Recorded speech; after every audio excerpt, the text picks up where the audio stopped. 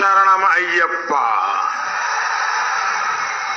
സ്വാമിയെ ശരണമയ്യപ്പ സ്വാമിയെ ശരണമയ്യപ്പ സ്വാമിയെ ശരണമയ്യപ്പ സ്വാമിയേ ശരണമയ്യപ്പ സ്വാമിയേ ശരണമയ്യപ്പ ഹരിഹരസുതൻ ആനന്ദചിത്തൻ അയ്യൻ അയ്യപ്പ സ്വാമിയേ.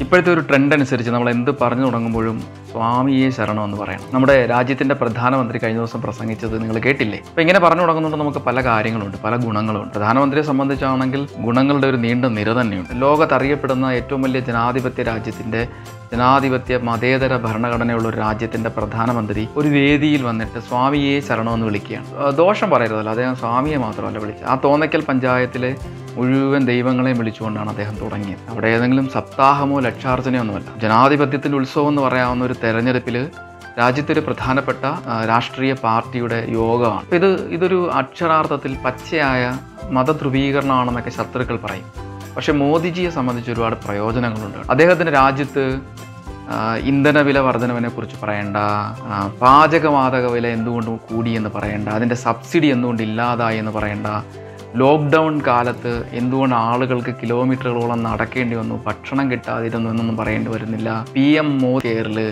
എത്ര ലക്ഷം രൂപ വന്നു എത്ര ലക്ഷം രൂപ ചെലവഴിച്ചു എന്ന് പറയണ്ട പട്ടിണി ഇൻഡെക്സിൽ രാജ്യം എന്തുകൊണ്ട് കീഴോട്ട് പോകുന്നു എന്ന് പറയണ്ട. ഹാപ്പി ഇൻഡെക്സിലും രാജ്യത്തിന്റെ അവസ്ഥ വളരെ പരിതാപകരമാണെന്ന് പറയണ്ട.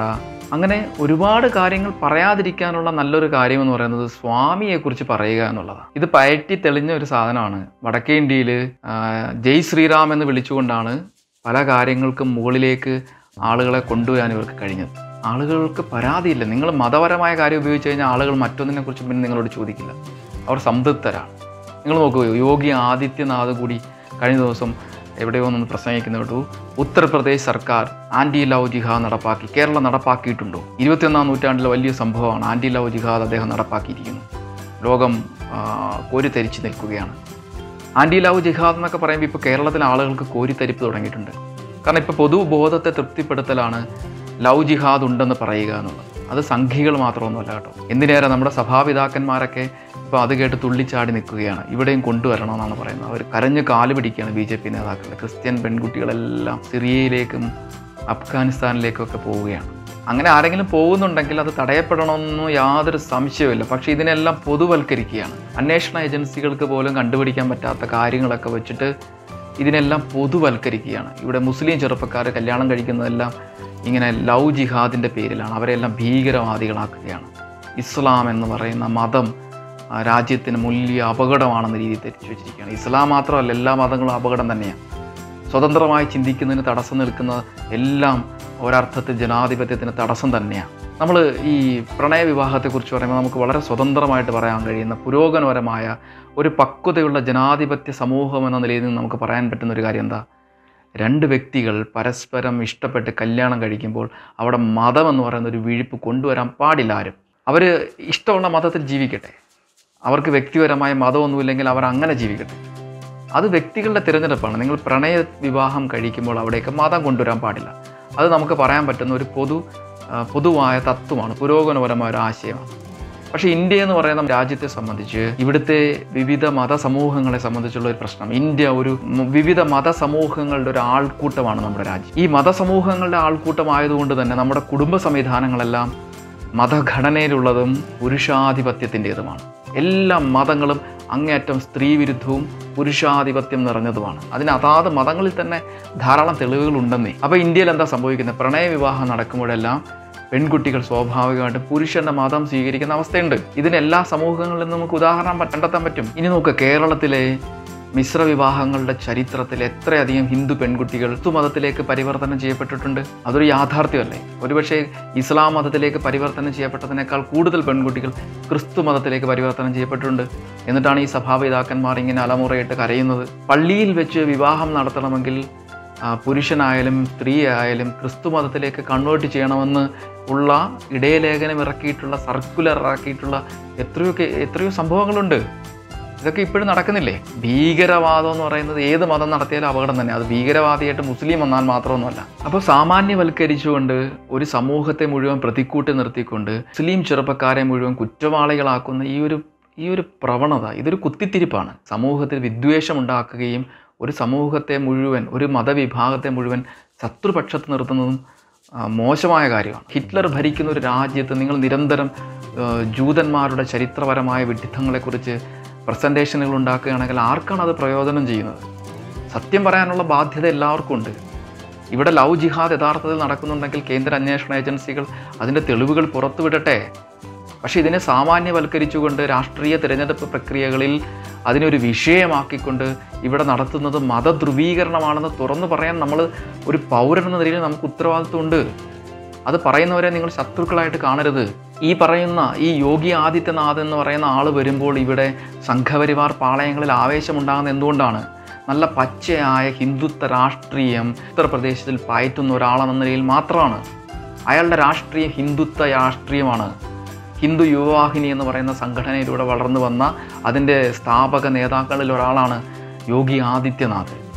സ്ഥലങ്ങളുടെയും ചരിത്ര സ്മാരകങ്ങളുടെയും ഒക്കെ പേര് മാറ്റി അത് ഹിന്ദുവൽക്കരണം നടത്തിക്കൊണ്ട് ജവഹർലാൽ നെഹ്റുവിന്റെ ഉൾപ്പെടെയുള്ള പ്രതിമകളും പാഠപുസ്തകങ്ങളിൽ നിന്നൊക്കെയുള്ള ചരിത്രരേഖകളും ഒക്കെ തള്ളി മാറ്റിക്കൊണ്ട് ഉത്തർപ്രദേശിനെ ഒരു ഹിന്ദു രാഷ്ട്രമാക്കുന്ന ഒരു ഹിന്ദുത്വ രാഷ്ട്രീയത്തിന്റെ മാതൃക സൃഷ്ടിക്കുന്ന ആളെന്ന നിലയിലാണ് ഈ സംഘപരിവാർ പാളയങ്ങൾക്കും ഇവിടുത്തെ നിഷ്പക്ഷ നിഷ്കളങ്ക സംഖ്യകൾക്കുമൊക്കെ യു പി ആദ്യ യു പിയിൽ നിന്നും ആദിത്യനാഥ് വരുമ്പോൾ ഇത്ര കോൾമീറുണ്ടാകുന്നത് ഇന്ത്യ എന്ന് പറയുന്ന ജനാധിപത്യ മതേതര രാജ്യത്തിന് അങ്ങേറ്റം അപകടകരമായ പ്രത്യയ ശാസ്ത്രത്തിന്റെ വക്താവായ യോഗി ആദിത്യനാഥിന് കേരളത്തിന്റെ മണ്ണിൽ ഇത്രയും ജൈവിളികൾ ഉണ്ടാകുന്നുണ്ടെങ്കിൽ നമ്മൾ ഭയപ്പെടണം.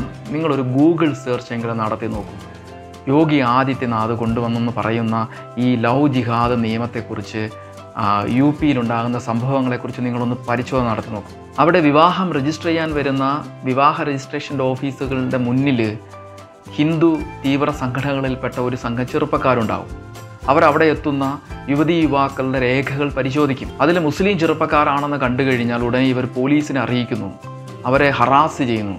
പോലീസുകാരാകട്ടെ വേഷം മാറിയ നിയമപരമായ അധികാരമുള്ള സംഘികൾ അത്ര വ്യത്യാസമേ ഉള്ളൂ.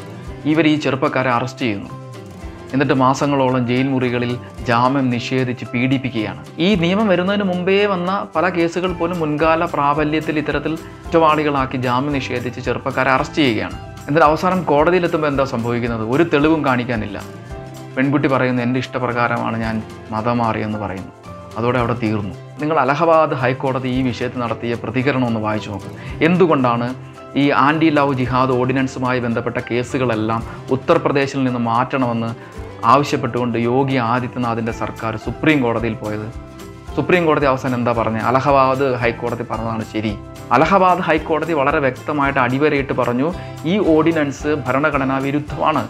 നമ്മുടെ രാജ്യത്തിന്റെ ഭരണഘടനയുടെ ആർട്ടിക്കിൾ ഇരുപത്തിയൊന്നിൽ വളരെ വ്യക്തമായി പറയുന്നുണ്ട് പ്രായപൂർത്തിയായ ഒരാൾക്ക് അവർക്ക് ഇഷ്ടമുള്ള ഒരാളെ തിരഞ്ഞെടുക്കാം.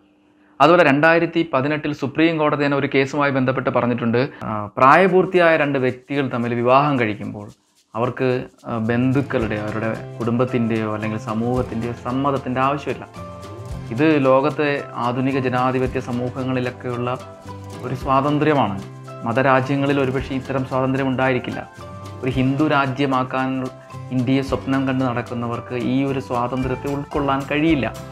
യു പിയിലെ ഓർഡിനൻസ് ബില്ല് വായിച്ചിട്ടുള്ളവർക്കറിയാം. അതിനകത്ത് ഏറ്റവും വലിയ വിരോധാഭാസം എന്ന് പറയുന്നത് മതം മാറാൻ ആഗ്രഹിക്കുന്ന ആളുകൾ ഏതാണ്ട് അറുപത് ദിവസങ്ങൾക്ക് മുന്നിൽ അതിനുള്ള അപേക്ഷ ജില്ലാ മജിസ്ട്രേറ്റിന് നൽകണം. ജില്ലാ മജിസ്ട്രേറ്റ് അതനുസരിച്ച് പോലീസ് എൻക്വയറിക്ക് ഏർപ്പാട് ചെയ്യും. ഓക്കെ നോക്കുക. പോലീസ് എൻക്വയറി എന്ന് പറയുമ്പോഴത്തേക്ക് എവിടെയായിരിക്കും? സ്വാഭാവികമായിട്ടും അത് പെൺകുട്ടിയുടെ വീട്ടുകാർ പെൺകുട്ടിയുടെ ബന്ധുക്കൾ പെൺകുട്ടിയുടെ കുടുംബത്തിലേക്കായിരിക്കും. അപ്പോൾ സ്വാഭാവികമായിട്ടും മതം മാറാനുള്ള ഒരു വിശ്വാസം മാറാനുള്ള ഒരാളുടെ സ്വാതന്ത്ര്യം അതോടെ അവിടെ ചോദ്യം ചെയ്യപ്പെടുകയാണ്. അപ്പോൾ സ്വാഭാവികമായിട്ടും ഒരു കുടുംബവും സാധാരണ നിലയിൽ മറ്റൊരു വിശ്വാസത്തിലേക്ക് പോകാൻ അനുവദിക്കണമെന്നില്ല. അപ്പോൾ അതവിടെ തടയപ്പെടുന്നു. പെൺകുട്ടികൾക്ക് ഭീഷണി ഉണ്ടാകുന്നു പെണ്ണ് മതം മാറുന്നതിനെ കുറിച്ചാണല്ലോ ഇവിടുത്തെ മൊത്തം അടി. അപ്പോൾ അതോടുകൂടി ഈ മതപരിവർത്തനം അവിടെ തടയപ്പെടുകയാണ്. മതം മാറാനുള്ള ഒരു വ്യക്തിയുടെ സ്വാതന്ത്ര്യം അവിടെ ചോദ്യം ചെയ്യപ്പെട്ടു. ഇത് തന്നെയാണ് അവർ ഉദ്ദേശിക്കുന്നത്.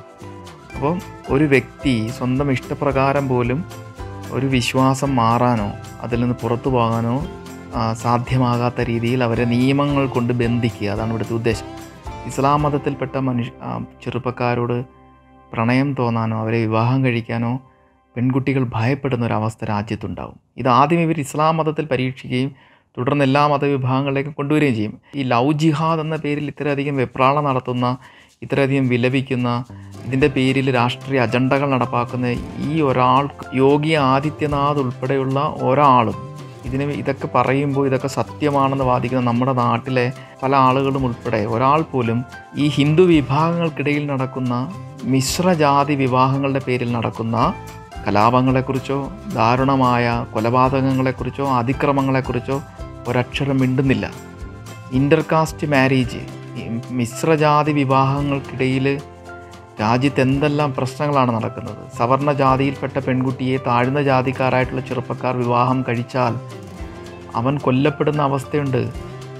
എത്രയെത്ര ചെറുപ്പക്കാർ നമ്മുടെ രാജ്യത്ത് കൊല്ലപ്പെടുന്നു? എല്ലാ സംസ്ഥാനങ്ങളിലും അതിന്റെ കണക്കുകളുണ്ട്. അതിനെതിരെ ഒരു ഓർഡിനൻസ് കൊണ്ടുവരിക അതിനെതിരെ പ്രതികരിക്കാൻ ഇവരാരും ഈ ഹിന്ദു ഏകീകരണത്തെക്കുറിച്ച് രാവിലെ മുതൽ വൈകുന്നേരം വരെ പ്രസംഗിക്കുന്ന ആരും അതിനെക്കുറിച്ച് സംസാരിക്കില്ല. ഇത് നമ്മൾ വളരെയേറെ ചർച്ച ചെയ്യേണ്ട ഒരു വിഷയമാണ്. ലവ് ജിഹാദ് പ്രണയത്തിന്റെ പേരിൽ നിർബന്ധിത മതപരിവർത്തനമോ ഭീകരവാദ പ്രവർത്തനങ്ങളോ ഉണ്ടെങ്കിൽ അത് തടയപ്പെടണമെന്നുള്ള കാര്യത്തിൽ യാതൊരു സംശയമില്ല പക്ഷേ അതില്ലാത്ത കാര്യങ്ങൾ പറഞ്ഞ് അതിനെ പൊതുവൽക്കരിച്ച് നടത്തുന്ന കുൽസിത ശ്രമങ്ങളെ നമ്മുടെ രാജ്യം തിരിച്ചറിയണം. ഇത് ആന്റി ലവ് ജിഹാദ് ആന്റി ലാൻഡ് ജിഹാദ് അങ്ങനെ പലതരത്തിലുള്ള ജിഹാദുകളുമായിട്ട് ഇവർ വന്നുകൊണ്ടിരിക്കുകയാണ്. വർഗീയത ഏത് വേഷത്തിൽ വന്നാലും അത് നമ്മുടെ പൊതുശത്രുവാണെന്ന് നമ്മൾ മനസ്സിലാക്കുക. അത് ഇസ്ലാമായിട്ട് വന്നാലും ഹിന്ദുവായിട്ട് വന്നാലും ക്രിസ്ത്യാനിയായിട്ട് വന്നാലും മതേതരവും മാനവികതയും ജയിക്കട്ടെ. മറ്റൊരു വീഡിയോയുമായി വീണ്ടും കണ്ടുമുട്ടാം. നമസ്കാരം.